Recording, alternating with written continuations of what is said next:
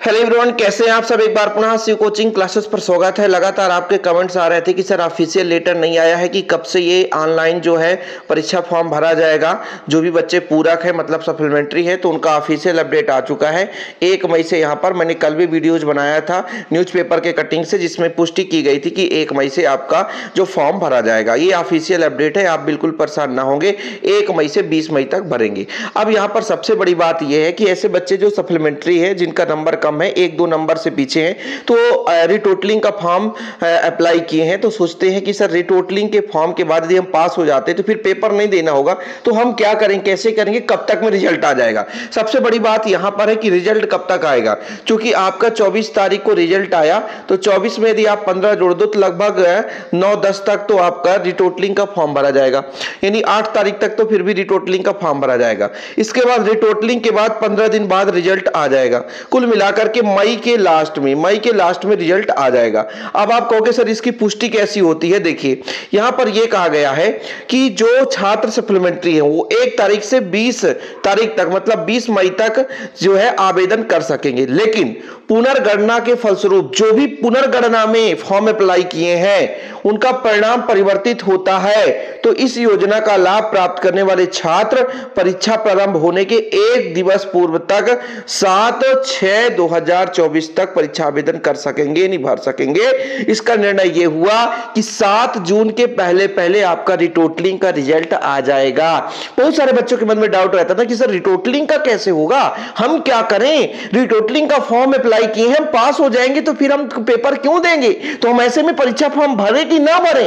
तो भाई साहब, आपको परीक्षा फॉर्म भरने की ज़रूरत नहीं है। मान लीजिए चौबीस नंबर से पासिंग है, तेईस नंबर से पासिंग है, आपके बीस इक्कीस नंबर है। आपने सोचा कि दो नंबर मिल गया, तेईस नंबर हो गया तो हम पास हो जाएँगे। रिटोटलिंग का फॉर्म आपने भर दिया। यदि रिटोटलिंग में आपके नंबर बढ़ गए तो फिर आपको परेशान होने की ज़रूरत नहीं है। आप एग्ज़ाम के एक दिन पहले तक फॉर्म अप्लाई कर पाएँगे। ये सबसे महत्वपूर्ण अपडेट थी बच्चों। ठीक है, जो आप टेंथ क्लास में यदि हैं तो दो सब्जेक्ट का सप्लीमेंट्री माना जाता है। तो दो सब्जेक्ट का फॉर्म अप्लाई करें। और यदि आप tenth class sorry, twelfth class में, टेंथ का हमने कहा दो सब्जेक्ट, और ट्वेल्थ क्लास में यदि, टेंथ क्लास में दो सब्जेक्ट, ध्यान रखिएगा, और ट्वेल्थ क्लास में आपका एक सब्जेक्ट का सप्लीमेंट्री माना जाता है। तो यही अपडेट था बच्चों आप लोगों के लिए। और यहाँ पर साफ़ बोला गया है कि यहाँ पर स्वयं एमपी ऑनलाइन या कियोस्क पे जाकर के, है ना, आप अपने पूरक का जो है विषय लेकर के जाए और अपना फॉर्म भरें। आप मोबाइल से नहीं भरें, यदि गलत होता है तो फिर आप स्वयं जिम्मेवार होंगे। यहाँ पर फ़ीस जो है पाँच रखी गई है और यहाँ पर देख सकते हैं, यहाँ पर आपका है पाँच सौ फ़ीस है एक सब्जेक्ट का। यदि दो सब्जेक्ट में तो एक हज़ार लगेगा। और यहाँ पर परीक्षा शुल्क के अतिरिक्त जो आपका ऑनलाइन चार्ज है, पच्चीस रुपए है। बाकी पचास सौ रुपए जो भी है ऑनलाइन एमपी ऑनलाइन वाले ले ही लेते हैं। ठीक तो ये आपका जानकारी था। मुख्य रूप से ये आज अपडेट देने का तात्पर्य ये था कि भाई साहब कोई भी बच्चा जो सप्लीमेंट्री है उसका रिज़ल्ट कब आएगा? रिटोटलिंग का जो फॉर्म डाला है तो क्या होगा? अब कुछ बोलेंगे सर कॉलेज के लिए क्या होगा? कॉलेज में एडमिशन ले पाएँगे? नहीं हो, पाएगा। देखिए फ़र्स्ट काउंसलिंग में तो श्योर है कि आप काउंसलिंग में भाग नहीं ले पाएँगे। फ़र्स्ट काउंसलिंग में बिल्कुल भाग नहीं ले पाएँगे। और आपके आप पूरा क्या फेल हैं तो ये तो क्लियर समझिए कि आपकी रिज़ल्ट कमी है तो बड़े कॉलेज तो मिल नहीं सकते हैं। तो वही चीज़ आपको जब एडमिशन लेना होगा, हो सकता है सेकेंड काउंसलिंग में आपको समय दे दिया जाए या थर्ड काउंसलिंग में समय दे दिया जाए, या कि सीएलसी राउंड होता है कॉलेज लेवल काउंसलिंग होता है, उसके तहत आपको एडमिशन मिल सकता है। तो ये अपडेट महत्वपूर्ण था।